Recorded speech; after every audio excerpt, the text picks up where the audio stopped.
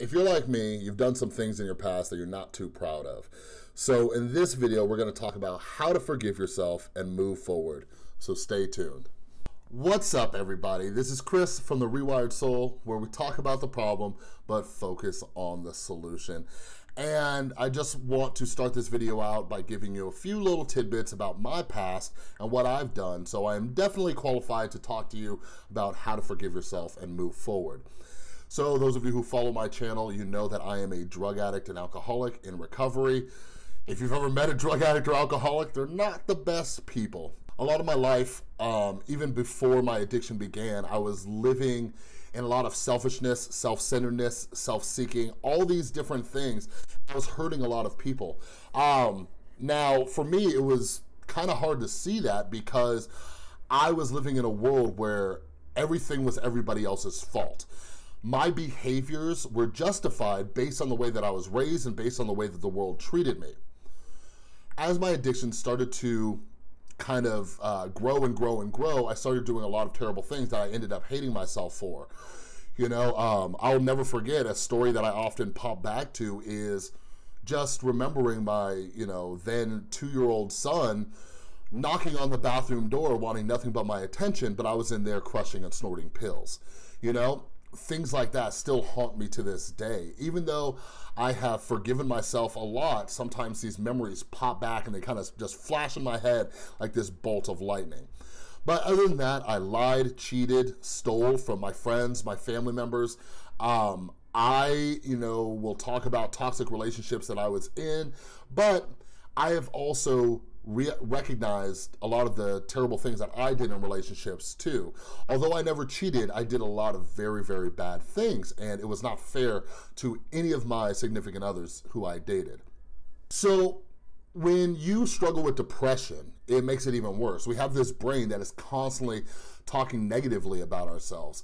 And, you know, one thing that I always talk about is like, no matter how much crap people talk about me, like my brain is telling me so much worse, like so, so much worse. And you might be able to relate to that. And if I ever wanted to be mentally healthy, I had to learn how to forgive myself. And the question was, how? How do you forgive yourself for these terrible, terrible, terrible things that you've done? And there's a few things to do, and gradually it'll help. I'm not saying this is something that happens overnight. It is a process.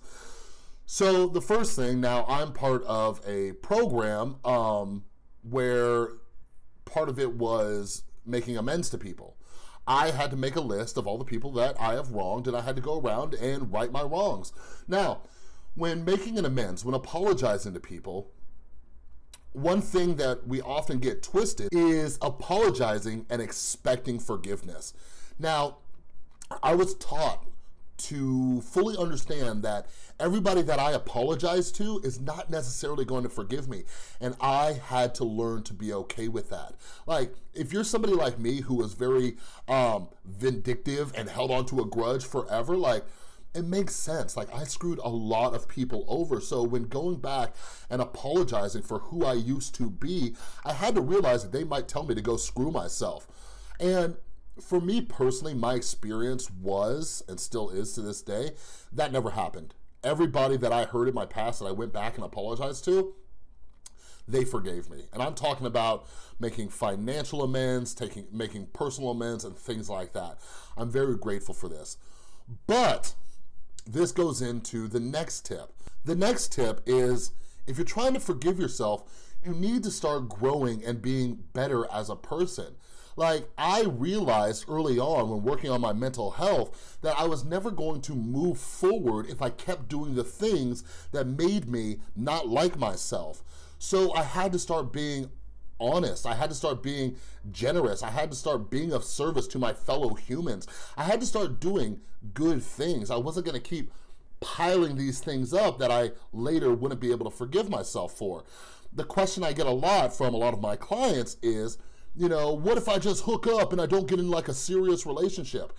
These are things that I stopped doing because I had to realize that this isn't about me. I am hurting people along the way and causing a whole lot of wreckage. So I had to start being a better person day by day.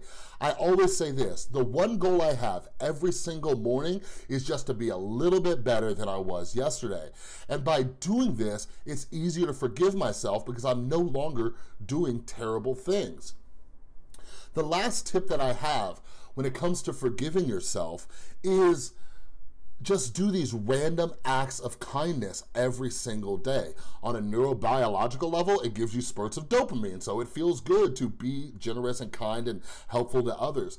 Every single day, I am doing things for other people, and it's become a habit where I don't even think about it most of the time.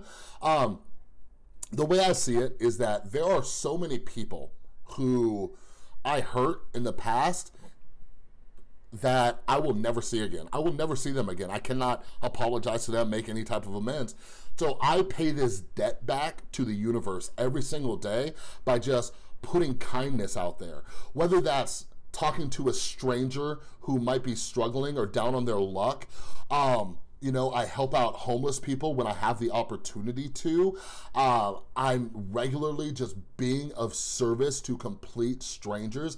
If I see somebody struggling in a parking lot to, um, I don't know, lift groceries into their car, I just immediately run over and do that. These are just a lot of just random things that I do. And one of the best parts about it is my son sees that a lot too. So my son in turn is very generous.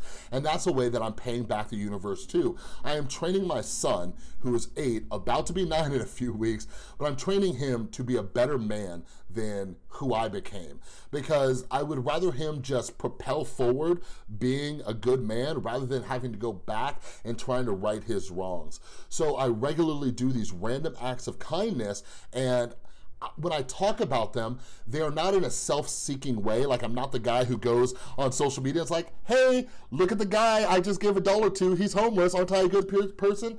I don't do that. When I share these stories with other people, it's not to self-promote. It's to inspire you to start doing the same. Even if you just stumbled across this video and you're not somebody trying to forgive yourself, like I hope to inspire you to know like how easy it is just to be a little bit nicer to your fellow human being out there because we're all struggling in some way, shape, or form. But anyways, I hope some of these tips really helped you out. Like today, I love myself. You know, um, a lot of my anxiety is gone purely based on the fact that I can go to sleep at night knowing that I didn't screw anybody over today. So do me a favor, no matter what, even if you're not trying to forgive yourself, go out there and just be a little bit kinder to people today. And then after you do it today, do it again tomorrow. And after that, do it again. All right? But anyways, if you like this video, please give it a thumbs up. And if you are new here, I'm always making videos about how to improve your mental health. So go ahead and click that little round subscribe button right below here. And if you haven't yet, click or tap to the left over there. By the way, look at that cool panda I got back there. Click on one of the other videos and check out some of the other content. Thanks for watching. I'll see you next time.